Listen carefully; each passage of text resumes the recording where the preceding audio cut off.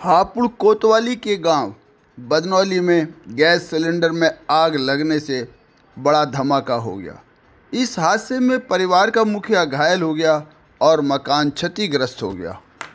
मैं दो बजे करीब उठा मैंने देखा तो दो बज रहे मैंने देखा मैं कहा लोगों को वो लोगों को जगा दो रोज़े का टाइम हो गया इसलिए फॉल्ट हो गया।